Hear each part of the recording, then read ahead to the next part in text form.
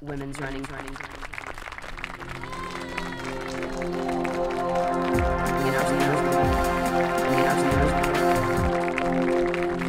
Women's running stories.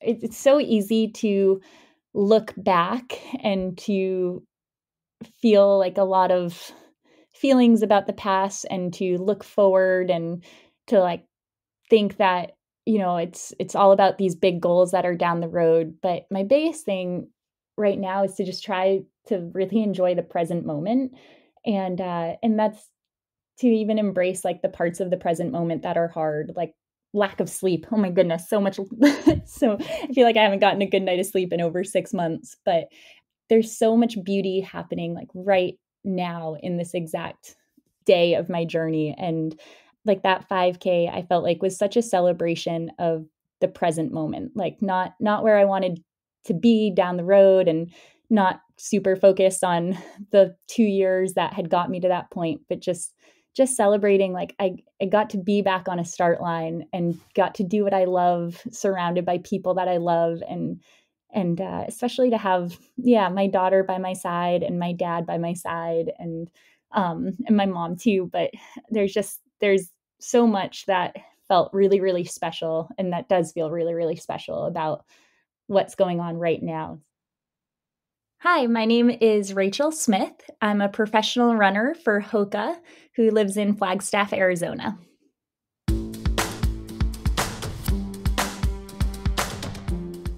Yes, this race report episode features professional runner and Olympian Rachel Smith, who has a lot to enjoy in the moment, not the least of which is how it all went down at the 2023 USATF 5K National Road Championships. And she is here to tell us all about it. But before we hear more from Rachel, I want to welcome you to Women's Running Stories, the podcast where women share stories about their running experiences.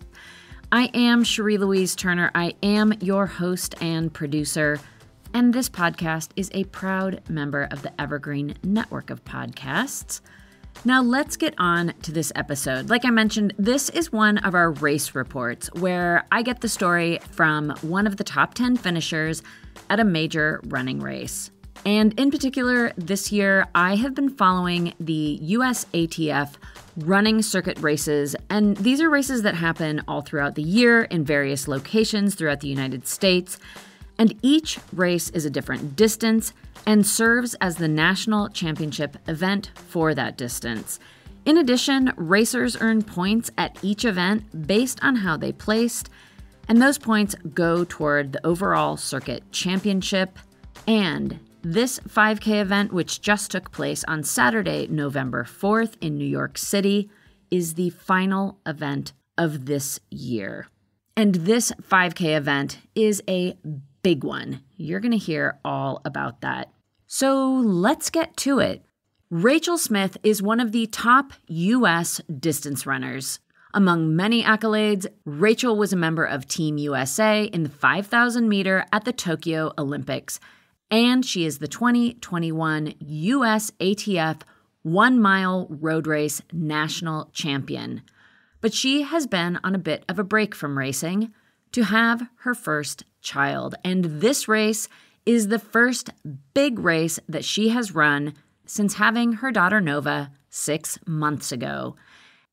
Our story begins with Rachel's pregnancy and how she navigated that time period and her postpartum return to running. Here to tell the story is Rachel Smith.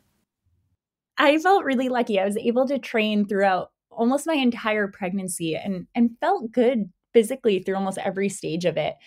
I say that relatively, you know, you always get like as your body changes, there's a lot of like discomforts, but overall, I felt very comfortable and um, happy to be able to run and to continue training.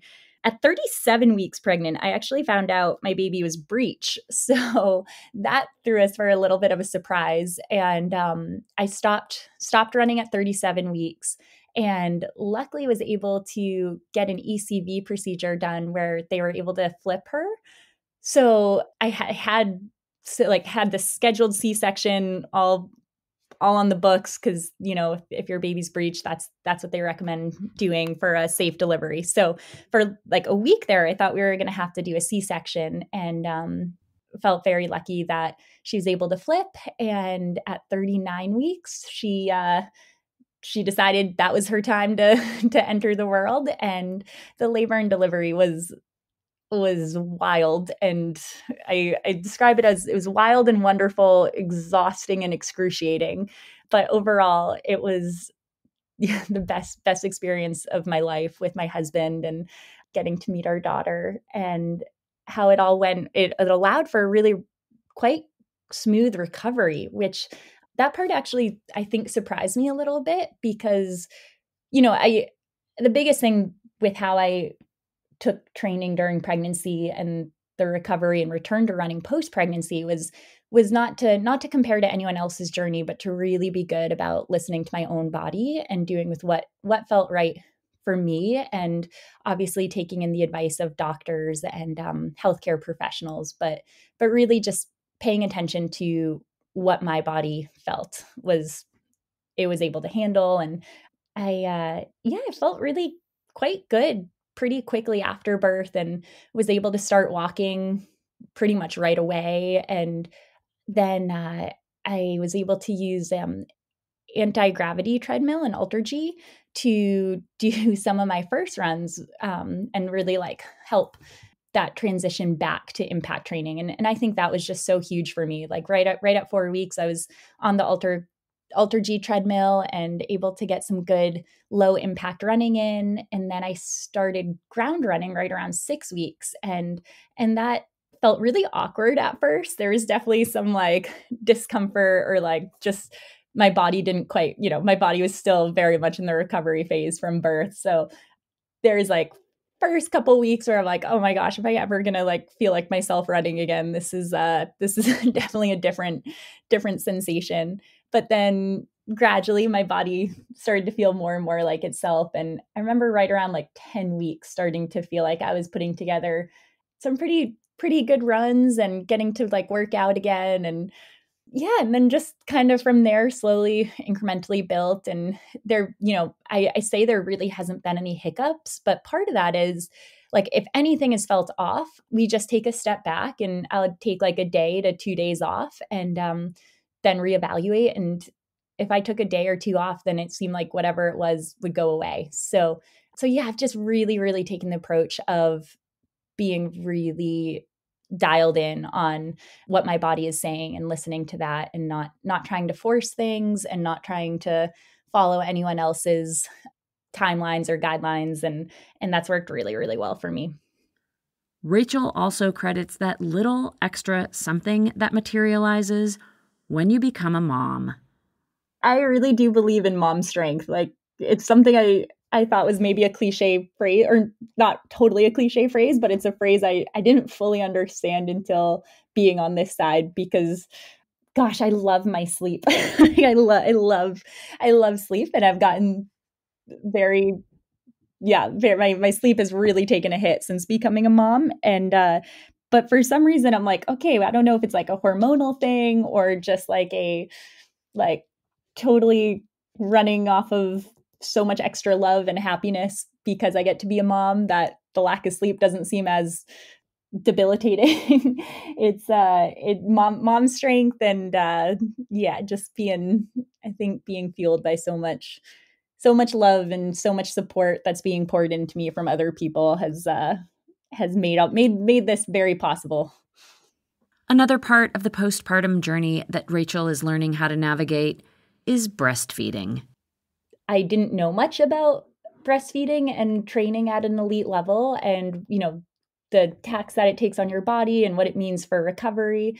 So I, I feel like I'm still in some ways figuring this out and navigating it in a way that feels like I'm still very curious because I can't say I feel like even even though you know i'm six months in and still breastfeeding i i don't know like exactly how it's affecting my body except that it definitely is a high energy demand and i try to be super like extra intentional about like how much i'm hydrating and how much i'm fueling my body and trying to make sure I'm doing that in a way that can support both my daughter and then um, and support my own body and my training and recovery goals.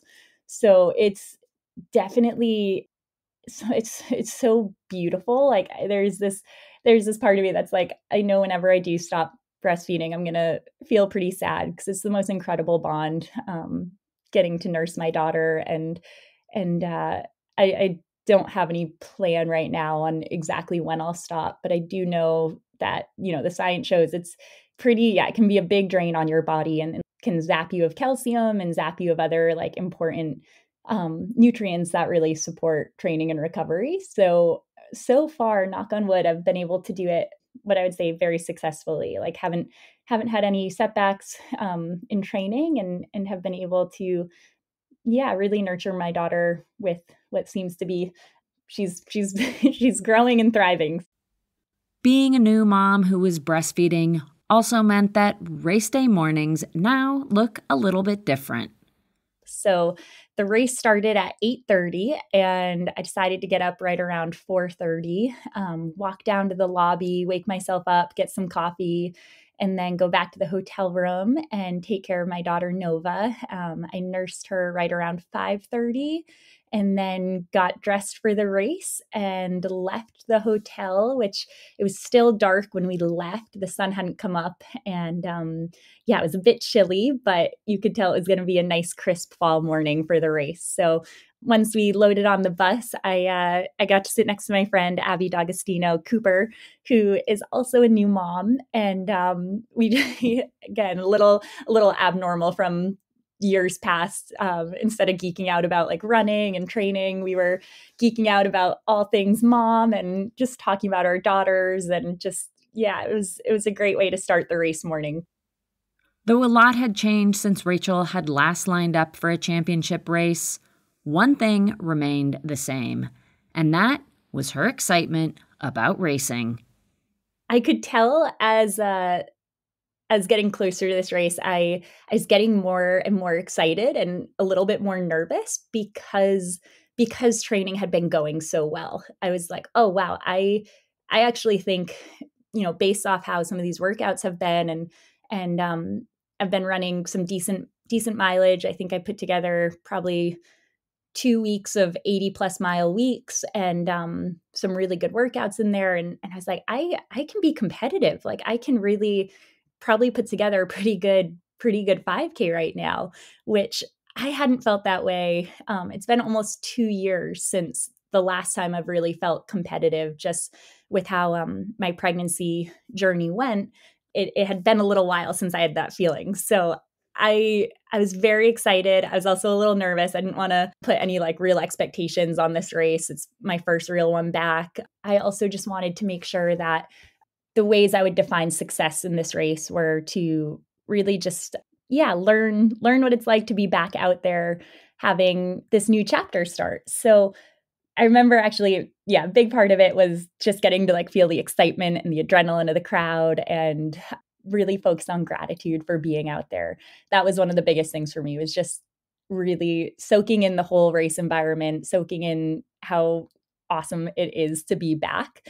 Obviously, New York City is just its own crazy, chaotic, high energy place. But then you have this 5K that's taking place the day before the New York City Marathon, and there's 14,000 athletes running the 5K. And then on top of that, it serves as the Youth 5K National Championship road race and the professional USATF 5K National Championships, which is the one I was competing in. And yeah, that that just having 14,000 people paired with these two national championship races made for just such an amazing atmosphere. I just remember being like, oh my gosh, I love this.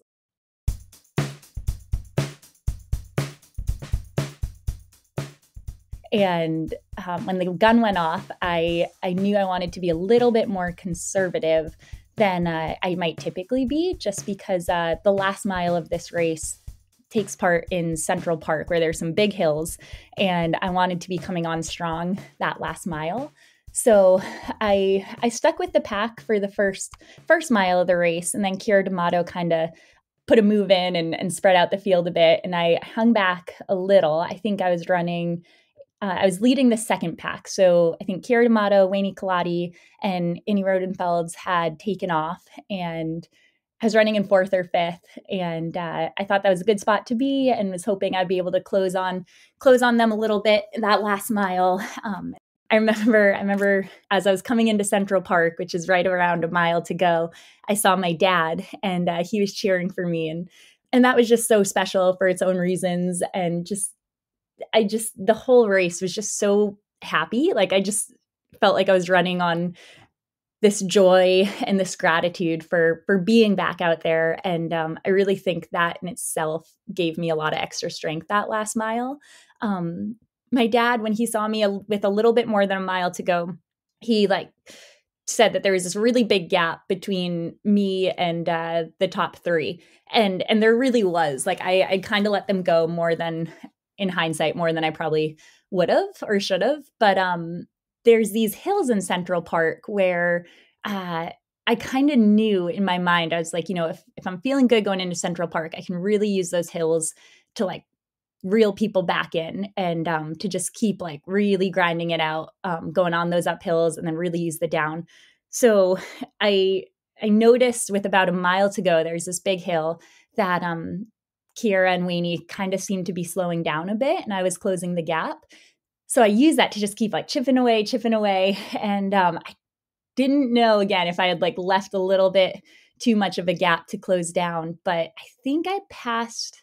I think I passed them right around with like 300 meters to go and um, felt really good closing in. I actually wish I had maybe started um, pushing a little bit earlier because um, I'm not sure if I was closing in on Annie or not, but um, but it was just really exciting to be finishing finishing the race feeling so strong and feeling like I had some good forward momentum. So I uh, think I believed I could do that and I was ready for that, but it just felt so good to be back at a competitive level and to finish second in a championship race and and to run a pretty respectable time on on a tough course too. So it was just yeah, it was a very very happy happy day for me. yes, Rachel had a phenomenal finish, closing a sizable gap to run her way into second place behind winner Annie Rodenfels. But before she could go off and celebrate her great podium finish and return to elite level racing, there was some other business that she was called to attend to so after the race um, i was chosen for drug testing and uh, it probably it'd been a couple hours since i had uh, last nurse nova. So i was like all right she she both needs me and i need her. So um, and i don't know how long drug testing will take because sometimes you know it takes me like an hour or two to pee after a race. So um, they were so great. They were like yeah no just bring her with you and um, nova hung out with us in the drug testing tent and i was able able to nurse her right there and then she was just happy to hang out with me and my agent and friends in the in the drug testing tent. And uh yeah it just felt like very very supportive. Like nobody made it feel like that baby shouldn't be here or anything like that. It was it was just very um yeah very welcoming.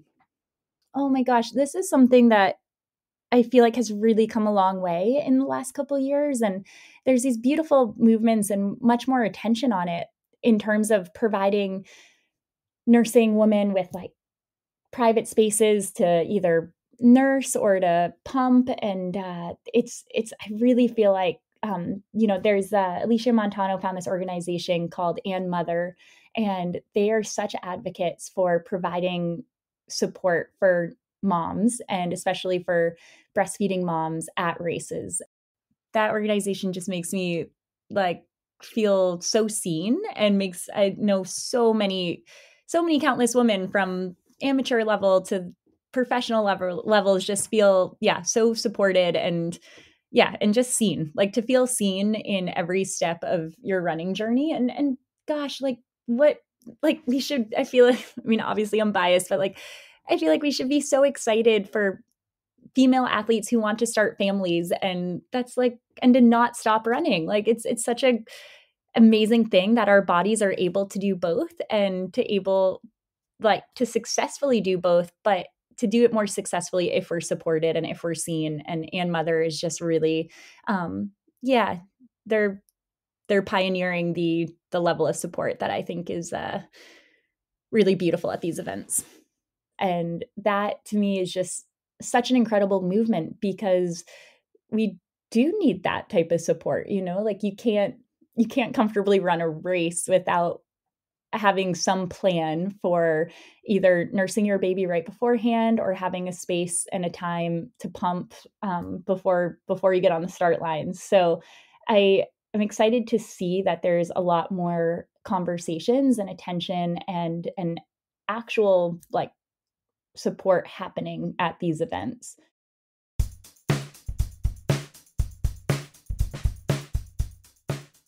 While Rachel is no doubt enjoying this moment of returning to professional racing while now being a mom, she also has plans for what comes next in her racing career.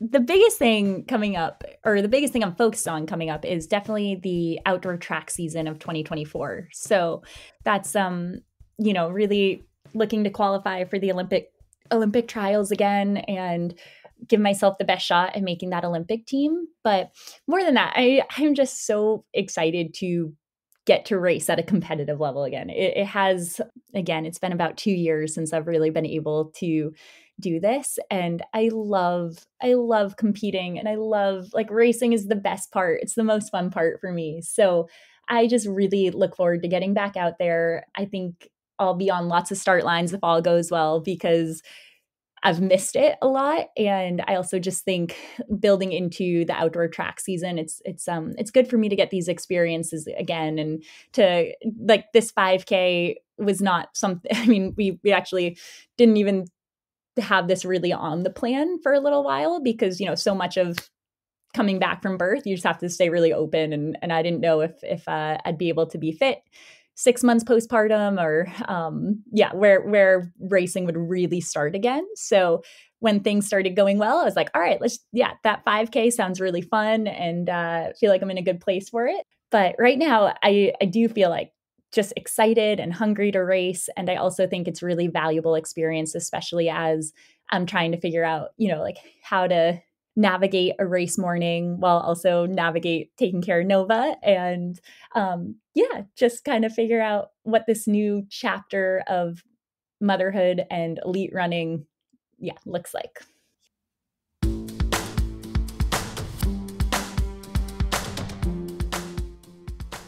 And that brings us to the end of Rachel's story about how it all went down at the 2023 USATF 5K National Road Championships. Thank you so much, Rachel, for coming on the podcast and sharing your story. And congratulations on an exceptional race, a return to elite level racing, and on becoming a mom. I, for one, am super excited to continue to follow Rachel's running career, and you can follow along too. I will provide links of how you can keep up with Rachel Smith in the show notes. I will also provide links to our other race reports so you can hear how the whole season has unfolded in the 2023 USATF running circuit races. And being that this was the last race of the circuit, the champion of the circuit has been decided. Ednah Kurgat is this year's winner, followed by Emma Grace Hurley, and in third is Nell Rojas. I will be following the entire circuit again next year, so be sure to subscribe so you do not miss any of the action. Thank you so much for listening. I always appreciate you being here, and I do not make these episodes by myself. Cormac O'Regan makes all of the original music for Women's Running Stories, and he does that from his studio here in Cork, Ireland. I am Cherie Louise Turner. I am your host and producer, and I am coming to you from my home closet studio, also in Cork, Ireland. And until next week, I do wish you healthy, joyful strides forward.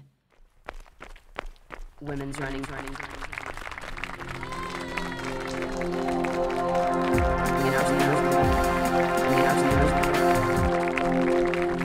Women's running, stories.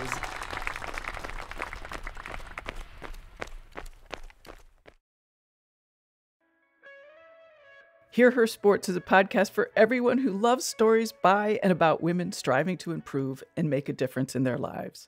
I am your host, Elizabeth Emery, a former professional cyclist. In every episode, I introduce a female athlete or woman in the business of sport through a thoughtful conversation about who they are and the terrific work they're doing.